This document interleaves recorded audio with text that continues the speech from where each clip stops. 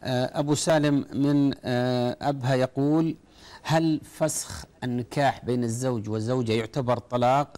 وهل آه، أيضا يسأل يقول هل والآن بعد ذلك تريد أن ترجع له لكن والدها رفض فما الحل؟ بارك الله فيكم. فسخ النكاح لا يعتبر طلاقا ولا ينقص به عدد الطلاق على الراجح لأنه فسخ. وأما وهو باين مثل الطلاق على عوض باين. فلا تحل له إلا بع- بعقد جديد. وكون والدها يرفض هذا وهي لها رغبة وهو كفء لها لا يجوز لوالدها أن يمنعها. قال تعالى ولا فلا تعضلوهن أن ينكحن أزواجهن إذا تراضوا بينهم بالمعروف.